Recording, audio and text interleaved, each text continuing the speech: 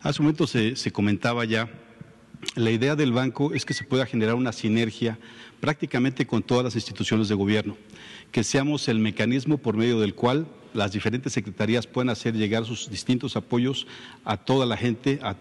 y a todo el país. Por una parte, también, por supuesto que estaremos creciendo de tal forma que podamos eh, trabajar tanto con el gobierno federal como con gobiernos estatales, así como con municipios y localidades, así como también con cualquier usuario, cualquier ciudadano que quisiera aperturar una cuenta en el Banco del Bienestar. Es decir, es un trabajo coordinado, es un esfuerzo en conjunto, es la instrucción que hemos recibido de parte del presidente de la República, deseado Andrés Manuel López Obrador, de poner todo el empuje en favor de todos y todas las mexicanas mexicanos. La primera, por favor.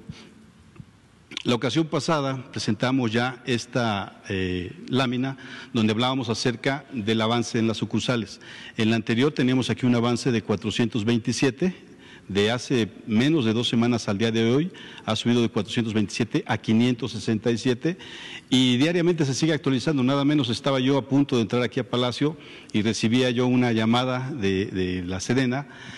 por cierto, gente muy comprometida y que están trabajando durísimo porque traen mucho, mucho, mucho trabajo, pero siguen atendiendo el crecimiento del Banco del Bienestar, donde me decían que de estas 45 concluidas hay dos más, y solo eso en el transcurso de mi traslado hacia acá. Aquí hablaremos ya de 47 concluidas 279 en construcción con distintos grados de avance, algunas ya a punto de que la próxima semana también ya se entreguen, estamos hablando de avances del 90%, del 80%, diversos niveles de avance, y 243 eh, por iniciar. La ocasión anterior teníamos aquí una cifra mucho menor, alrededor de 106, que eran los terrenos disponibles.